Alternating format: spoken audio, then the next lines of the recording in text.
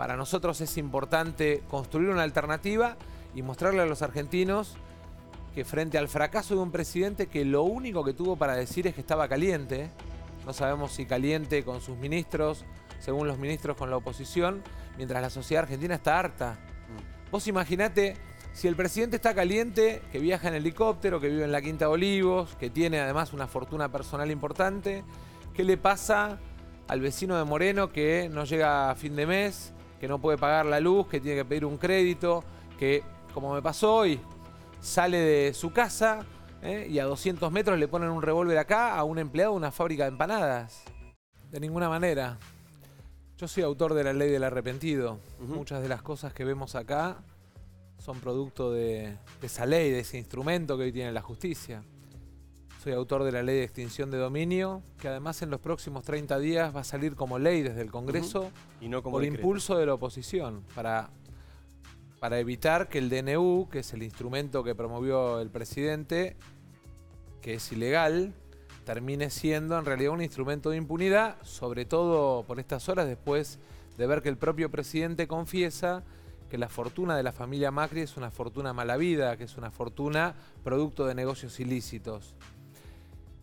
Nosotros somos autores de la ley de imprescriptibilidad de los delitos de corrupción. Están en nuestro Código Penal. Hace tres años que espera eh, que el Congreso o que Cambiemos se digne a tratar un Código Penal que no solamente plantea la imprescriptibilidad de los delitos de corrupción, que plantea además la posibilidad de investigar la media corrupción, de manera tal que hemos dado muestras de que en la batalla para que en la Argentina no haya impunidad, tenemos cartas para mostrar, tenemos un lugar ganado, chiquito, grande, con errores, con aciertos, pero sobre todas las cosas hemos tenido firmeza y determinación. Piense usted una cosa. En el 2017, junto a Margarita Stolbizer, propusimos eliminar los fueros por ley. Cambiemos no quiso. Toda esta discusión hoy no existiría si no hubiese fueros. Si no hubiese fueros. ¿Cree que Cristina ahora, tiene que estar el presa? problema... Esa preguntita le agrego. ¿Cree que Cristina tiene que estar presa? Cuando la condenen, sin duda. ¿No ahora? Digamos, hoy tiene fueros. Hoy bueno, pero más allá de los fueros. Bueno, pero claramente hay varias, hay cinco prisiones preventivas, seis prisiones preventivas.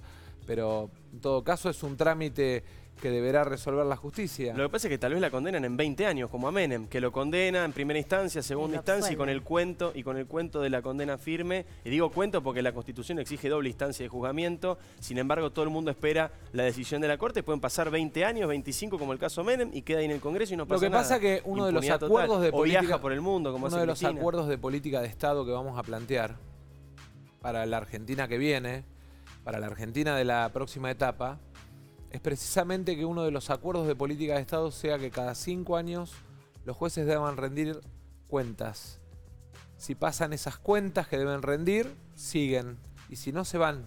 Si no, terminan como jueces. Entre otras cosas, los tiempos procesales, el tiempo de respuesta de su juzgado, la atención a la víctima. Hay que terminar con esa mentira de la eternidad de los jueces. En una sociedad en la que todo va modificándose, esa mentira hay que terminarla, porque es la carta de impunidad de muchos jueces que protegen, que encubren, no solamente en temas de corrupción. Usted se encuentra en el Gran Buenos Aires con que la violada y el violador se cruzan en la verdulería y el juez no da ninguna explicación. Sí, eso es terrible. Entonces, la Argentina rompe la impunidad el día que la justicia también tenga que rendir examen. Un candidato a un gobernador rinde examen cada dos años. Un legislador rinde examen cada cuatro. Bueno, que los jueces rindan examen cada cinco años para que además no estén cruzados los gobiernos. los mandatos. ¿eh? Es fundamental. Si pasan, están preparados para ascender. Se termina el curro de asciende el amigo de Santiago, asciende el amigo de Diego. Si no pasan, se van a la casa.